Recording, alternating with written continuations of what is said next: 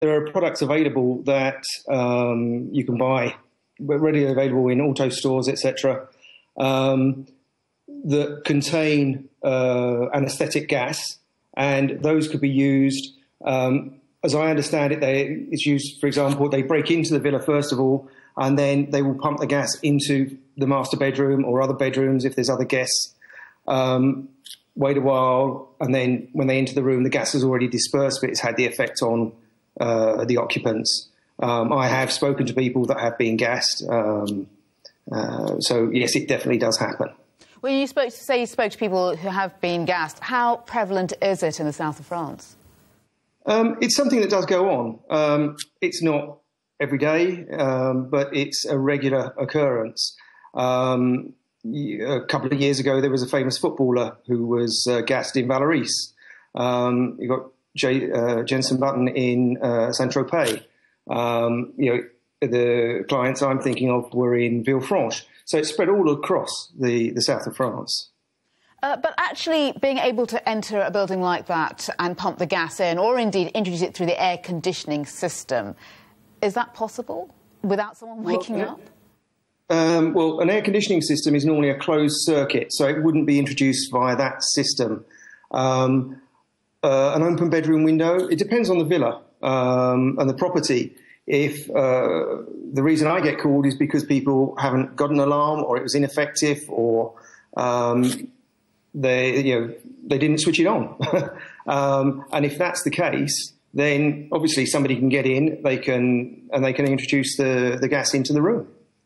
Uh, but uh, an alarm in this particular situation, how useful is it? Because you've got occupants inside the villa already, so surely they could set it off by moving around.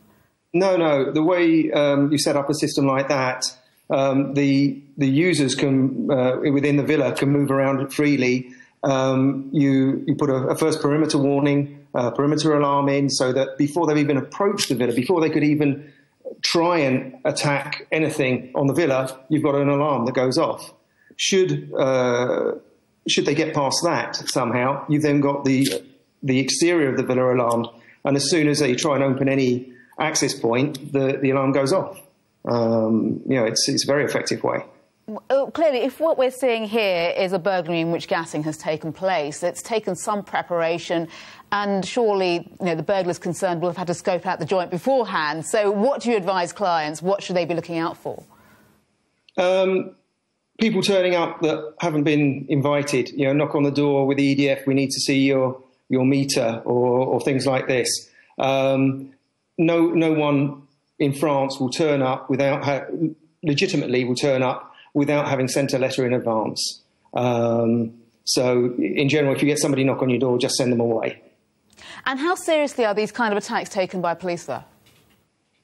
Um, that that uh, I can't really answer.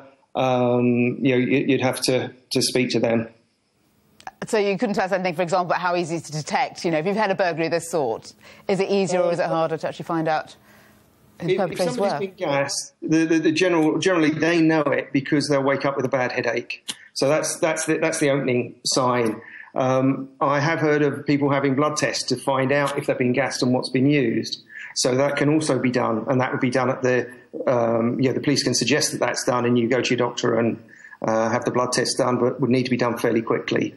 Um, and there are gas detectors that uh, we install. So if somebody does try to introduce a gas into the house, um, you know, that will pick it up and, and set off an alarm straight away.